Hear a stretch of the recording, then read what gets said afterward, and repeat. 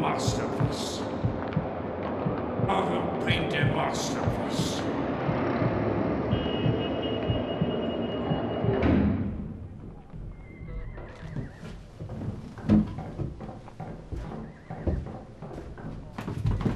The contagion is all over the city, I'm afraid. Quite literally thousands are infected, I'm afraid. But Johnsy, Doctor. Well, she has one chance in, let's say, ten. And that chance is for her to want to live. Your little lady has got it into her mind that she's not going to get well. Has she anything on her mind? What is important to her? She wanted to paint the Bay of Naples someday. Hate? Oh, bosh. I mean, anything that's worth thinking about twice. Um, has she a man, for instance? A man. Is a man worth. But no, Doctor. There is nothing of the kind. Well, that is a weakness then. Well, I will do all that science can, but whenever my patient begins to count the carriages in her funeral procession, I subtract 50% from the curative powers of medicines. Now, if you get her interested in the new winter styles, I'll promise you a one in five chance for her instead of one in ten. I'll visit tomorrow. Good day.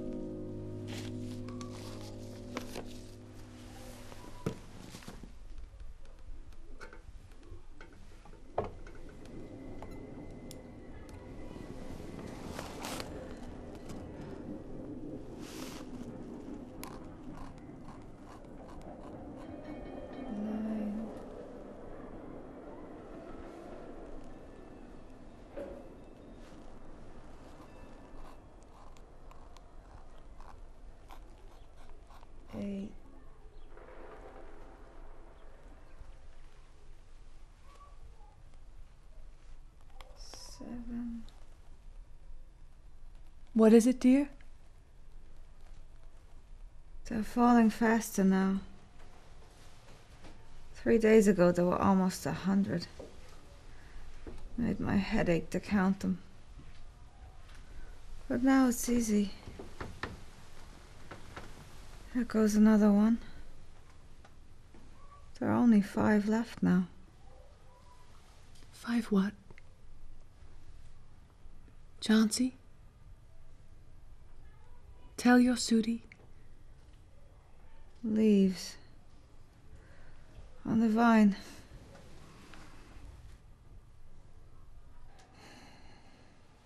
When the last one falls, I must go too. I've known that for three days now. Didn't the doctor tell you? I've never heard of such nonsense. What have old ivy leaves got to do with your getting well? And used to love that vine so, don't be a goosey. Why, the doctor told me this morning that your chances of getting well real soon were. Let's see, what exactly did he say? He said your chances were 10 to 1. Why, that's almost as good a chance as we have in New York when we ride on the streetcars or walk past a new building. Try to take some more broth now and let Sudie go back to her drawing so she can sell it to the editor man and buy some port wine for her sick girl. No, I don't want any more broth. I want to see the last one fall before it gets dark. And then I'll go too. Promise me to close your eyes and not to look out of the window till I'm done drawing. I must hand this in by tomorrow. I need the light, or I would draw with the shade down. Couldn't you draw in the other room? I'd rather be here by you, sweetie.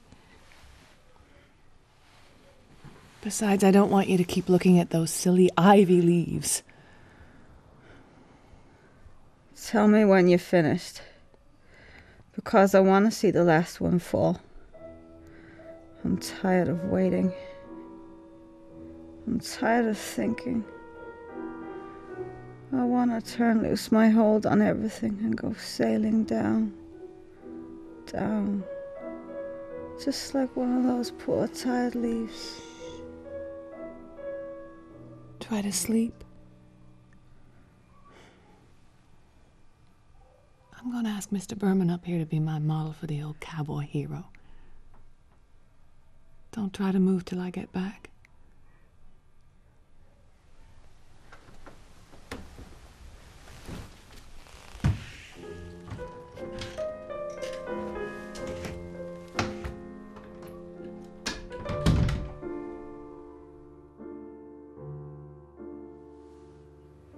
Fear that she has become so light and fragile that she will indeed float away like one of the leaves on the ivy. Was? Is there people in the world with their foolishness to die because leaves they drop off from a confounded vine? I've not heard of such a thing. No, I will not pose as a model for your cowboy hero, Dunderhead. Why do you allow that silly business to come in the brain of her? Fever has left her mind morbid and full of strange fancies. Very well, Mr. Behrman, if you do not care to pose for me, you needn't. But I think you are a horrid old. old flibberty gibbet. You are just like a woman. Who said I will not pose?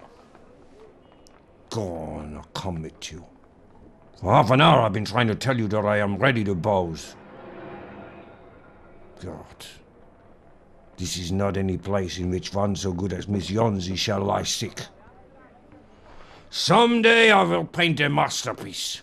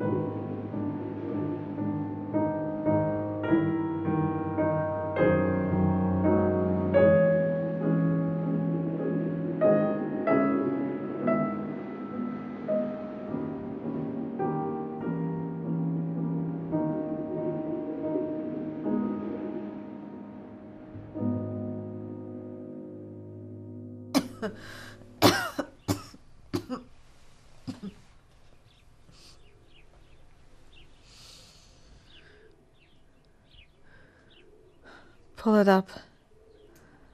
I want to see.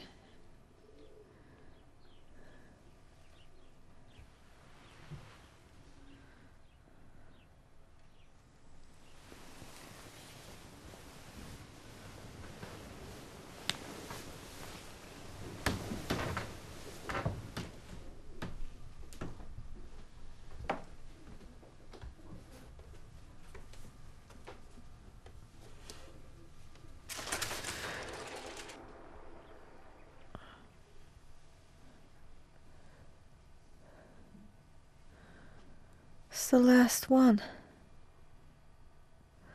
I thought it would surely fall during the night. I heard the wind. It will fall today.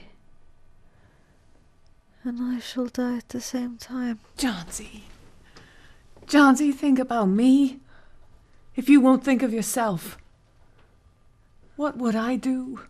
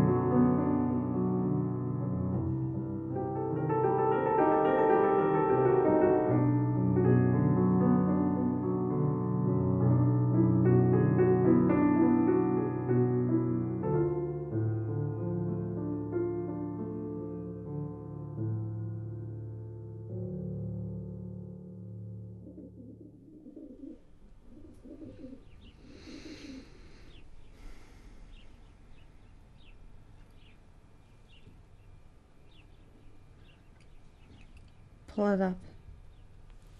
I want to see.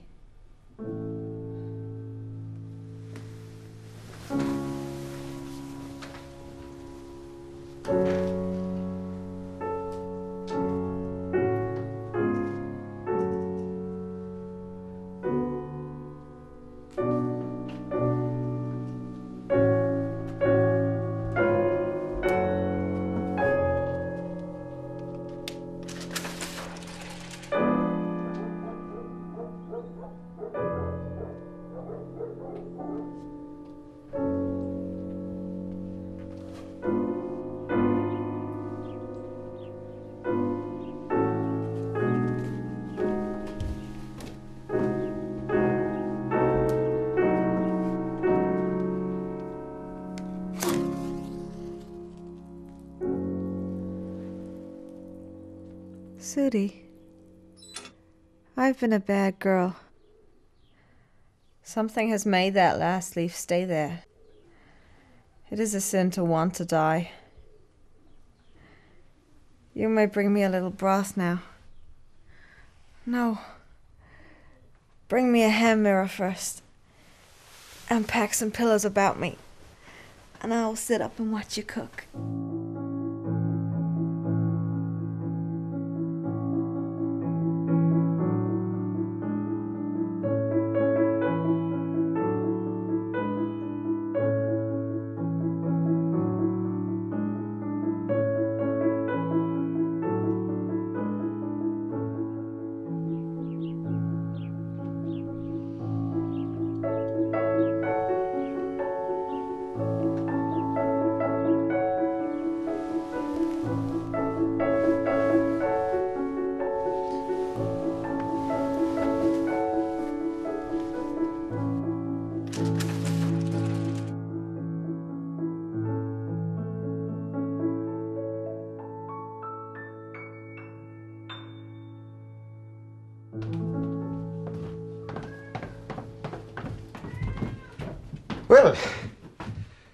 You've won. Nutrition and uh, care. That's all she needs now. Thank you, Doctor. Hey, Miss Faulkner.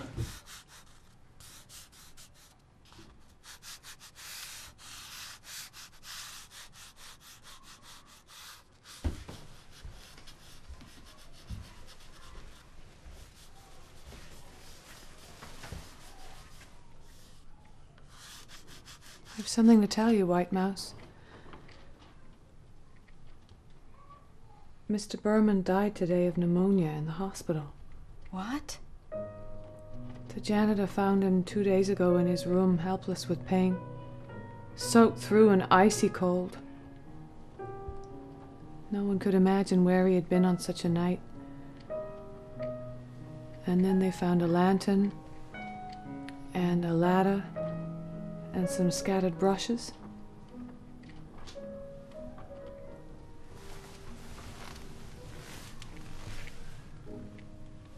And look.